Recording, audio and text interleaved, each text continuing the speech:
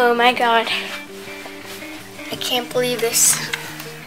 Look. I don't know if you can see that, but Nigahiga just beat Fred in subscribers. They have 1,334,814. Can't really see it, but let's go to Fred now. See how many he has. So.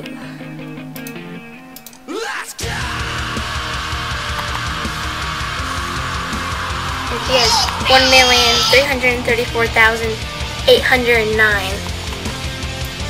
Yep. Nigahiga finally beat this stupid talking, annoying thing.